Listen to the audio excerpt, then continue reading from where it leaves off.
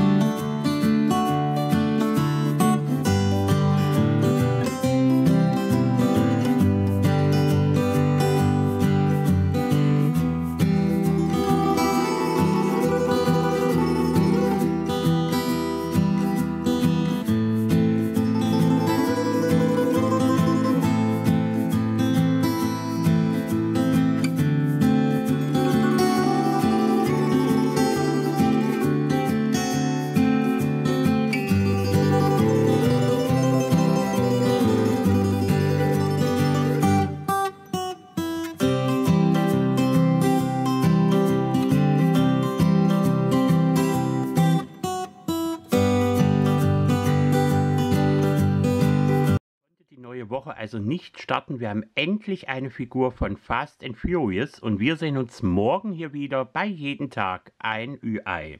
Seid auch morgen wieder mit dabei. Alles Liebe, euer Stefan von unser Sammlerteam. Macht's gut, ihr Lieben.